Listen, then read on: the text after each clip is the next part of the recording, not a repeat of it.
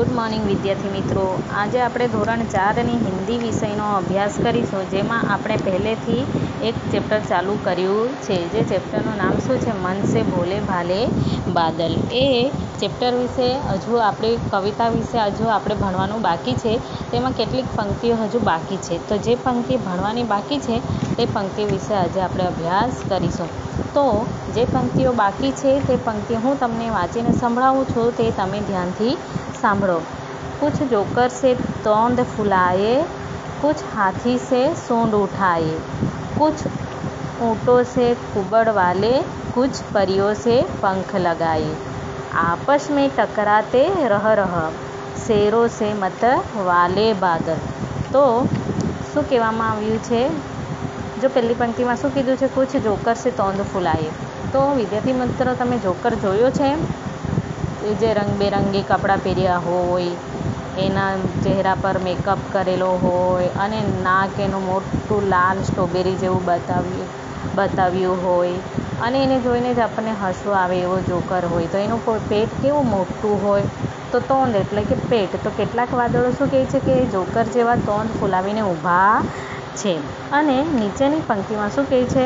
કુછ હાથી સે સૂંઢ ઉઠાએ અને કેટલાક વાદળો કેવા છે કે હાથી સૂંઢ ઊંચી કરીને ઊભો હોય ને એવી એવા વાદળ દેખાઈ રહ્યા છે. તો કુછ ઊંટો છે કુબડવાલે. કુછ ઊંટો છે કુબડવાલે. કુબડવાલે એટલે કે ઊંટની પીઠ પર જે ખૂંદ આવેલી છે ને તેને કુબડ કહેવામાં આવે છે. તો કેટલાક વાદળો કોના જેવા છે? તો ઊંટની ખૂંદ જેવા વાદળો છે.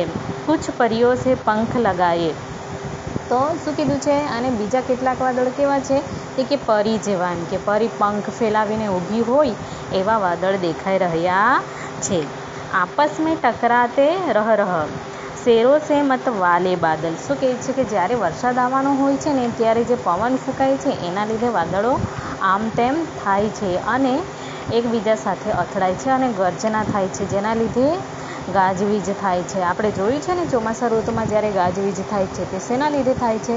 કે એકબીજાને અથડાવાથી જે અથડાય અને જે અવાજ ઉત્પન્ન થાય તેને ગાજ કહેવામાં આવે છે અને જેના લીધે જે વાદળોના અથડાવાથી જે પ્રકાશ ઉત્પન્ન થાય છે તેને વીજળી કહેવામાં આવે છે તો શું કીધું છે કે શેર જેવી રીતે ગર્જના કરે છે તેવી રીતે પણ વાદળો પણ એવી જ ગર્જના કરે છે એમ કે કે આપસ મેં ટકરાતે રહ રહ શેરો સે મત વાલે બાદલ એમ કે શું કે શેર એટલે કે વાઘ વાઘની જેમ ગર્જના કરે છે બરાબર તો તમને આ ખબર પડી ગઈ હશે તો આજે અહીં સુધી જ અભ્યાસ કરીશું બાકીની પંક્તિ આવતા પિરિયડમાં જોશું તો હું તમને કેટલીક ખાલી જગ્યા આપું છું જે જેનો જવાબ તમારે લખીને મને મોકલવાનો રહેશે તો પહેલી ખાલી જગ્યા છે જોકર સે ખાલી જગ્યા ફૂલાએ બીજી ખાલી જગ્યા છે કુછ હાથી સે ખાલી જગ્યા